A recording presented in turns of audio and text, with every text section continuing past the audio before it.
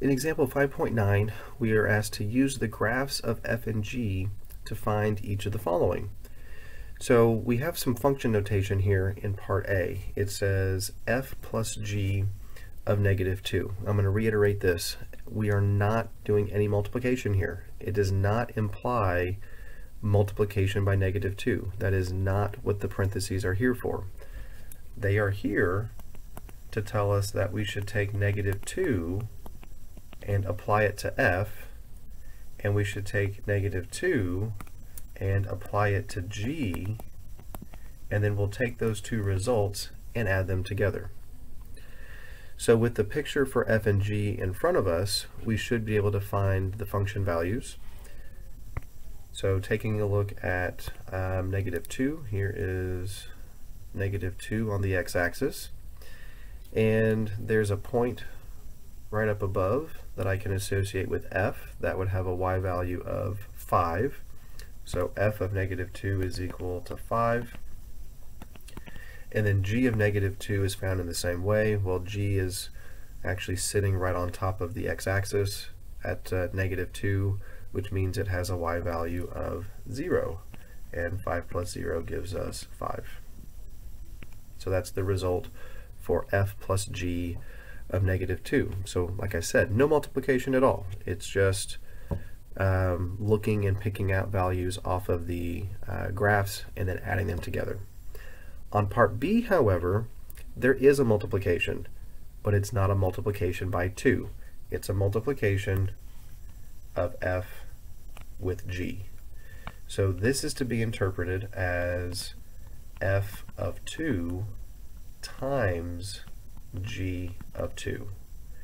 So the same principle here applies. I need to look at the graph to determine what f of 2 would be. So let me come over here to 2, erase what's going on with negative 2, and over here at positive 2, I go straight up and there's a point associated with f, which would have a y value of 2. And then if I do the same thing for g, then I'll have a point right on top of the x-axis again, which has a y value of 0. So that'll be 2 times 0, which gives me a result of 0.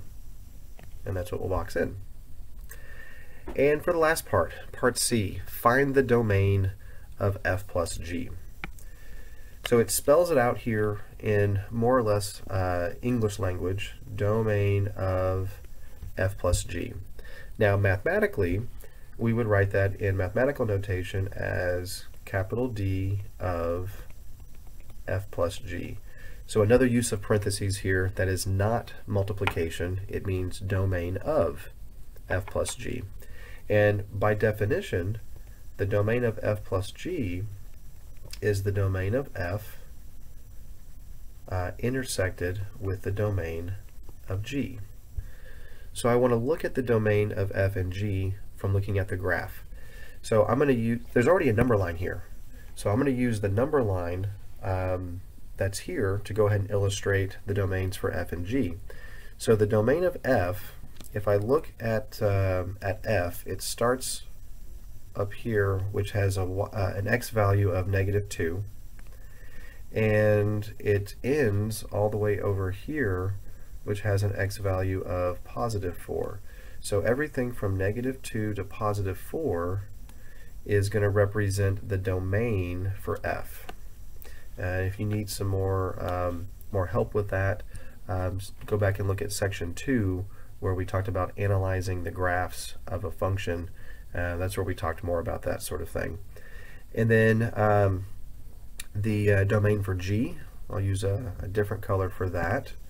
The domain of g is going to start at negative 4 on the left and then go all the way to positive 6 on the right and it's going to take everything in between.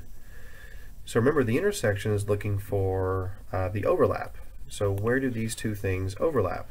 Well the overlap is going to be from negative 2 all the way to positive 4.